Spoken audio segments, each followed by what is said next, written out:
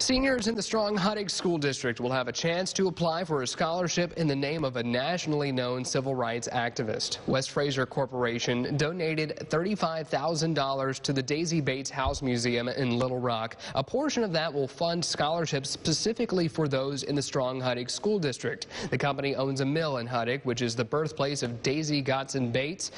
Bates was a journalist who played a key role in the integration of Central High School. School District Superintendent Kimberly Thomas Thomas says this community partnership will make a lasting investment on the youth who walk the same streets that this renowned leader once did.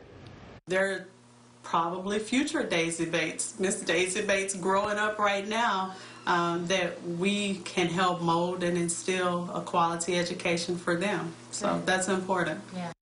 Thomas says the district received $4,000. They have yet to decide how those funds will be distributed, but it will be awarded to senior students next year.